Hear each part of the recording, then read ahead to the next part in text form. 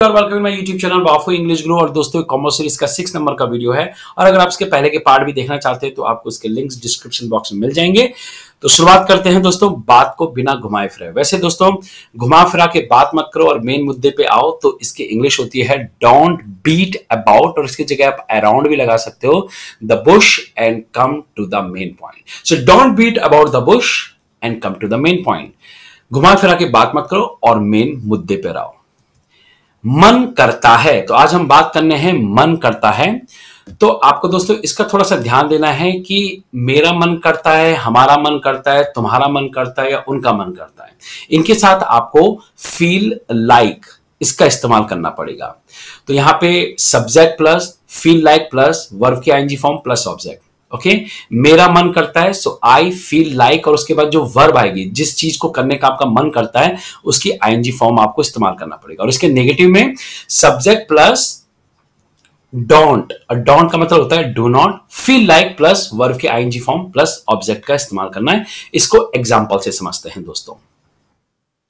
मन करता है कि पढ़ाई छोड़ दूँ। यानी मेरा मन करता है कि पढ़ाई छोड़ दू। I feel like dropping studies यानी पढ़ाई छोड़ने का मन करता है तो छोड़ने की ING form I feel like dropping studies मन करता है कि जॉब छोड़ दूँ जॉब से परेशान हो गए।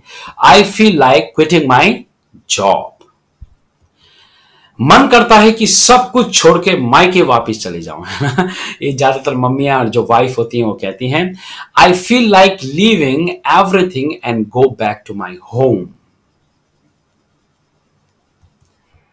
next is मन करता है। अब देखो, आप दोस्तों थोड़ा सा ध्यान रखना है आपको। अगर ही शी नेम इट आए तो आपको फील्स लाइक लगाना पड़ेगा। So subject plus feels like plus ING form plus object यानी, जैसे अगर मैं कहूँगा, राम का इंग्लिश बोलने का मन करता है तो राम फील्स तो आपको एस लगा देना है दोस्तों। ओके जब भी ही शी नेम इट आए।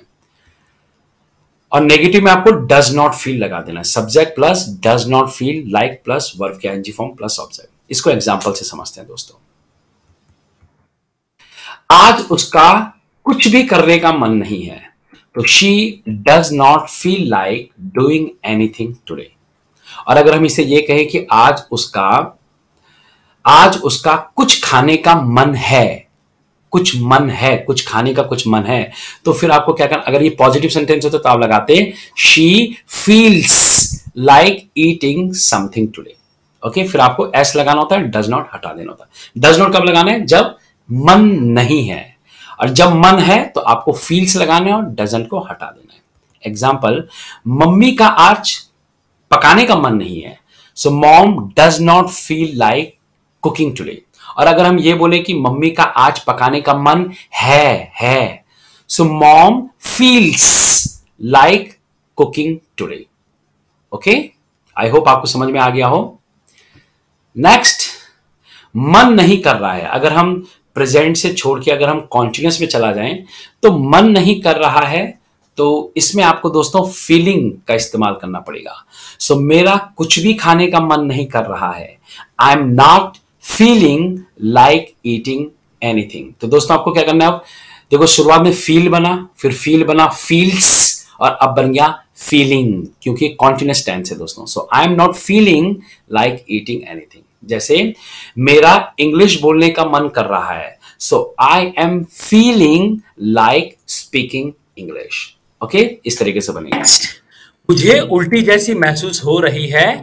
I am feeling like throwing up throwing up का मतलब होता है दोस्तों वॉमिट फील करना। जब आपको हार मानने का मन हो तो याद रखें कि आप इतने लंबे समय तक रुके क्यों रहे? When you feel like giving up remember why you held on so long in the first place तो गिव अप का मतलब होता है दोस्तों, हार मानना। इसलिए कहते हैं never never never give up कभी हार ना माने। दोस्तों, मुझे एक नई ड्रेस पर पैसे उड़ाने का मन कर रहा है। I feel like splurging on a new dress splurging का मतलब होता है दोस्तों, फालतू के पैसे उड़ाना पैसे उड़ाना। कभी कभी मुझे ऐसा लगता है कि जैसे मैं किसी अजनबी के साथ रह रही हूँ sometimes I feel like I am living with a stranger है ना? कई बार जब दो कपल आपस में बात नहीं करते हैं हस्बैंड वाइफ आपस में बात नहीं करते हैं तो जो वाइफ होती है, वो गुस्से में कहती हैं। कभी कभी तो मुझे ऐसा लगता है कि किसी अजनबी के साथ ना तुम बात करते हो, ना तुम जवाब देते हो। So sometimes I feel like I am living with a stranger next is ये रेस्टोरेंट बहुत अच्छा माना जाता है, लेकिन मेरा घूमने का मन नहीं है। This restaurant suppose to be great but I don't feel like slapping there slapping का मतलब होता है, दोस्तों, कहीं जाना। मुझे ऐसा लग रहा है कि जैसे मैं कई दिनों से इस फ्लैट में बंद हूँ I feel like I been cooped up in this flat four days तो कूप्ड अप का मतलब होता है दोस्तों, किसी पिंजरे में बंद रहना, पिंजरा जैसा महसूस करना। जब मुझे सर्दी हो जाती है तो मुझे खाने का मन नहीं करता। When I got a cold I don't feel like eating तो दोस्तों, अगर आपको सीरीज़ पसंद आ रही है तो हमें कमेंट बॉक्स में ज़रूर बताएँ। एंड प्लीज़ सब्सक्राइब और यूट्यूब चैनल वाफ इंग्लिश ग्रुप बाबाई सिया इन